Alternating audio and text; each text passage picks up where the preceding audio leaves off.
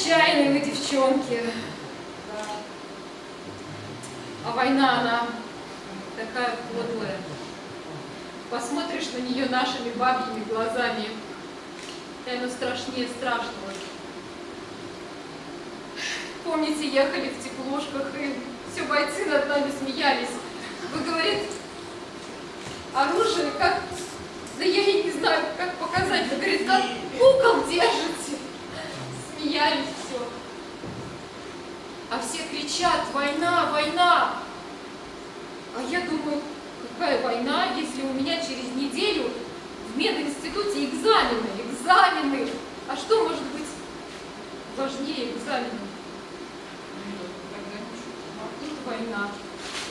А через неделю уже такие бомбежки начались, и мы спасали раненых. И вы знаете, мне казалось, что курса мединститута – это уже что-то в наше время. А в первые дни войны я, я столько крови увидела девочек, что, что стала ее бояться. Вот тебе и пол врача. Вот тебе и пятерка по практике. Ань, а ты своего первого раненого помнишь? Катя, да как сейчас.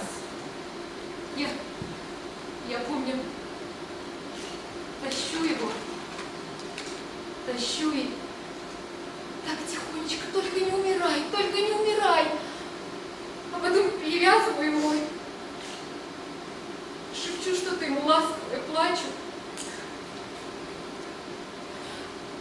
А тут командир проходит и так на меня накричал. Даже с матом, что Почему кричал? Почему? Ты говорит, ты одна, бойцов-то, бойцов-то много. На всех не хватит. Нельзя. А я, девочки, как сейчас помню его лицо. Вы понимаете, у него, у него открытый перелом. Средней части бедра осколочное ранение, кость торчит. Я, я, понимаете, я теоретически знаю, что надо делать. Помню, но когда к нему подползла и увидела это все, стыдно сказать. Девочки, меня затошнило.